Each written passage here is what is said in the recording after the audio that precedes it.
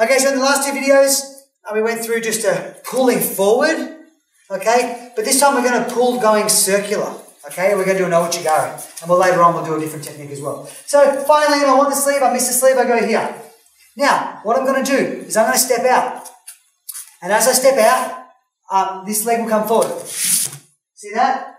And when that leg comes forward, because it's naturally going to face me, I actually shove this shoulder, like Liam's shoulder, here, which makes that leg come around. So I go here, I step to the side, see that?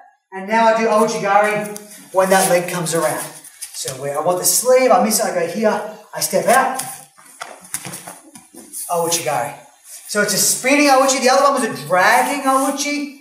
This one, we're catching. I look, I, I open up here. Open. Look, it comes around. Open. As he comes around, this arm's going to catch over the shoulder. My, my fingers go down the like the lower back muscles and my they rest on the spine. And then the legs going to catch.